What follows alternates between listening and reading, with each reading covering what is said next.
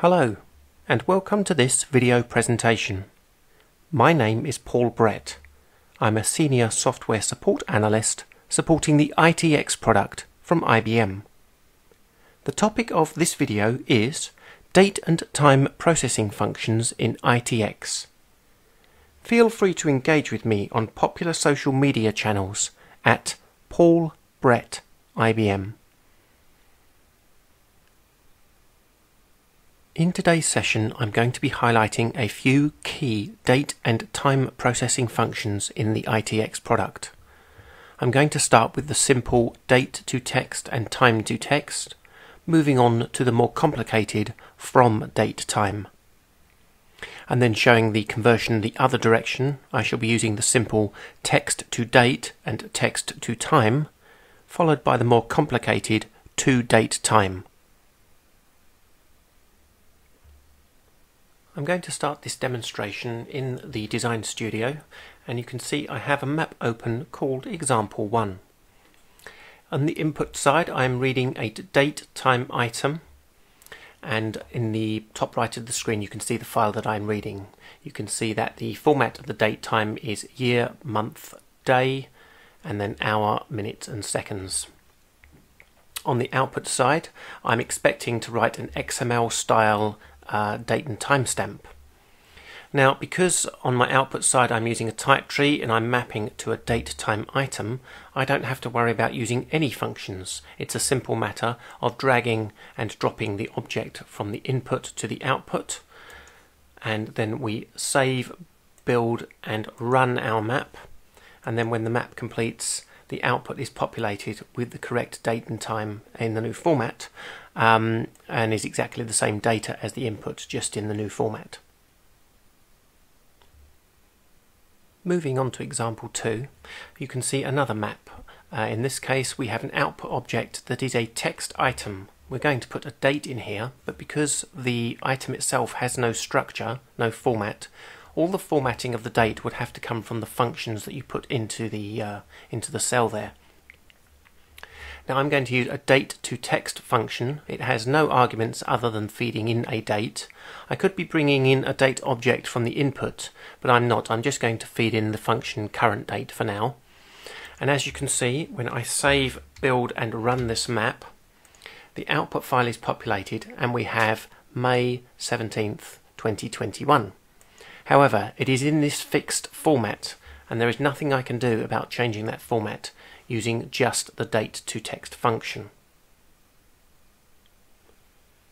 In a similar way as the previous example, the time to text function, which here I'm feeding in the current time, you have no other argument to change the output format. We're going into a text object here. The type tree is not going to determine the uh, format. So it's just the functions and the time to text function has a fixed format output. Build, run, and then on the output side we get 20, 29, 25. Moving on to the more useful from date time function, which is uh, in a sense uh, a combination of the date to text and time to text functions combined with the addition of being able to specify a date time picture string and gives the user complete control of the output format. Once again, I'm feeding the date time in as a function, current date time, rather than using an input object, but it would work exactly the same uh, if I was. Now my picture string I'm giving is in two parts, a date section and a time section. We have the standard European date format with date, month and year, and then we have a 24 hour time format with up to six digits of precision for the seconds. Now, when executed on the Windows platform, uh, the Windows um, underlying operating system is only able to give up to three um, digits of precision, whereas the Linux and other Unix platforms would probably give uh, the full six. So let's build and run this map now and you'll note in the output that we have 17th of May 2021 at 2035 and 51.152 seconds.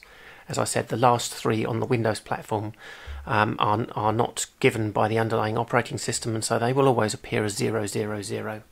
You can even completely remove those by telling the map that we want between 3 and 3 digits for the output and build and run again and then on the output we just get the 3 decimal um, that we get for seconds and the only ones that are significant anyway. Now we're going to approach the conversions from the other direction. We have a text item on input and a date time item on output. We have the stupid functions text to date and text to time. The first one I'm going to look at is text to date and here you can see that our input is in the format of the two digits of the year, the month and then the date. When we build and run this map the output format is going to be determined entirely by the properties of the output type object. If I click on that, you will see that I'm going to be writing out the dd-mm-ccyy and then a space and then a 24 hour format separated by colons for the minutes and the seconds. So if I build and run this map, you will see that I get a date and for the time we're getting 000000. And the reason for this is that I'm using a text to date function. I'm grabbing the text string of six characters and all we're getting is a date, so it's got no information to populate the time. There is a second format that text to date will accept, and that is a four digit year. So if we put in 2021 and save and run this map again, the output doesn't change. It still shows exactly the same, but it has accepted that format. If we try and put in a different format entirely, for example the American date format 05-17-2021, and we build and run that map, you will note that the output becomes completely blank. The text to date function can only cope with the two formats mentioned. So that's a two digit year, month and date, or a four digit year, month and date. Moving on to the dumb text to time function. Here again we're reading text on input. In this case our text is 1, 2, 3, 4. And we're using the text to time function. Now the text to time function, much like the date to time function, will cope with two different formats it will cope with HHMM or HHMMSS. So here we have just the HHMM. The output side, we have a date time object. The output is going to be entirely determined by the properties of this object. So let's bring the properties up. We're going for a, a standard date time string, DDMMCCYY, with HH24MMSS after it. However, when we build and run this map, you will note that the map finishes with a warning. One or more outputs was invalid. And if we close this warning, you will see the output that has been produced. The text to time function can actually create a time within that uh, uh, date time string, but it doesn't have enough information to create a date, and that's why we get this warning and we get this strange output here. Okay, so let's fix that. In the output card, I'm going to change this to a simple time item instead. And now I'm going to bring up the properties of that time item. So this is going to write out HHMMSS. Let's build and run that map now. The map has completed successfully and on the output side you see we have 12, 34 and 00 seconds. Now the seconds is always going to be 00 even if we're in the middle of a minute because we didn't provide enough information on the input for it to even populate the output. Okay, on the input if we change to include a seconds option and save and we build and run our map again, the seconds do get populated in the output. However, if we try to use any other kind of time format string, like the standard colons between the items for example, you will note that the text to time function will actually produce absolutely nothing. And there we go, completely blank. So, as I said before, text to time, bit of a dumb function, will only support two time formats. which is why in the next section we will be moving on to the to date time function. On to the final function in today's session, and probably the one that is the most misunderstood. This is the toDateTime function. Now here you see on the screen a map where I'm reading from in1. In1 is once again a text object. My input is currently 20210517205356, which represents the CCMMDD of right now. So in the second argument of my function, I put that exact date time picture string in and tell it what I'm expecting and it will try its best to convert it. Now what would we expect to see on output? Well, the output format is going to be entirely dependent on the date time um, properties of this object. And if I click on that now, you will see that it's going to produce dd-mm-ccyy and then a space, then the 24 hours with a colon, minutes and a colon and seconds. So let's build and run this map now. Run. And you can see in output I've got my full complete date properly formatted, read from a text blob and into a date item. Now that this is a date item, we can use other function on it, such as add hours and um, all the other data processing functions. But um, we couldn't have done any of those while it was still in a, in a text object.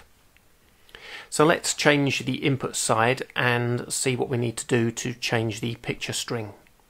Let's say, for example, that this was um, in the correct format um, with hyphens and a space and hyphens between the time as well. Rather unusual, but um, there it is. And let's say that the time coming in had some um, milliseconds included. So we'll put one, two, three, four, five, six, six. Uh, now let's go with five. Five de decimal digits of precision for milliseconds. Let's save that. If I build and run my map now, we will get absolutely nothing in output because the input no longer matches the picture string that to date time is working with. And there we go, completely blank. So let's alter our date time picture string to match what we're actually receiving. So we've got a hyphen between the CCYY and the MM, a hyphen between the MM and DD. Going to have to put in a couple of squiggly brackets to represent the space in between the two objects now. Some hyphens between the hours and minutes and seconds. And finally, we're going to tell it that we want between 5 and 5 decimal precision digits for seconds. So there's my completed picture string. Build, run, and on output we get exactly the same format that we got before because that's defined by the properties of the object, but the to date time function has done its business and correctly brought in the date time that we had before. You'll note that the 1, 2, 3, 4, 5 um, decimal parts of the second are completely missed, but they are still part of that object even though they're not displayed. Now it's important to remember that because if you add half a second onto this and then put it into another object that's got these same properties, this might then show as 57 seconds as it rounds up because of the half a second added on. So, how do we get these date time picture strings? There's a little tip for you to be able to um, work them out quite easily. If we open our type tree, and I'm going to open the one that we've just used, which is output.mtt, If we look at this date time item and uh, bring up the properties, we have a picker button over here on the right hand side and we can go through the um, dialog boxes to build up our date time string. So we notice our date is in a custom format. I pick the three dotted button and it's dd-mm-ccyy. These boxes are not ticked because if I tick those that means that this section becomes optional, this entire section at the end here. And this is not ticked because if it was ticked, it would mean that this section within the previous data was also optional. And you've got an extra section in a, in a date picture string if you want to have additional information such as the quarter number or the um, three three digit representation of the uh, day or date. So coming out of date then and into time, we have a very similar picker button here where we can um, go for custom and click on the three dotted button and we can build up our picture string to be exactly what we need. Maybe we don't want um, HH24 colon mm, maybe we want hyphens. Um, maybe the seconds are going to include a fractional a minimum and a maximum of six, minimum of three, a maximum of six digits. And at the end of it, we're going to put whether it's AM or PM, which you wouldn't do with 24 hours. So I'm just going to change that to 12. And finally, we've got the time zone picture here that we can put in either the time zone or the time zone offset information. Now once we've built up a picture of what we think we want to see, we can then see that represented down here as a string. And this exact string can be copied to the clipboard and put back into our map as the date time picture string in our toDate time function. So you can build it with the picker and then you can just cut and paste it from the type designer into your functions so that you don't get the uh, format in any way incorrect. So there you go, a little trick for building up the picture strings. I want to thank you for taking the time to watch my video presentation today. If you found the content interesting and informative, please hit that like button. Consider subscribing to my YouTube channel as I release content such as this on a regular basis.